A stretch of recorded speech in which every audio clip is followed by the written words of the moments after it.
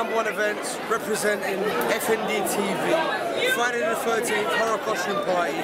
We did it big. Earlier on you saw me put the makeup on, I took the makeup off. Every single event, we represent. People came out, costumes, makeup, the full works. Love Dubai, love London where I'm from, West, all day, every day. Big up to everybody. Number one events, all the supporters, and FND TV.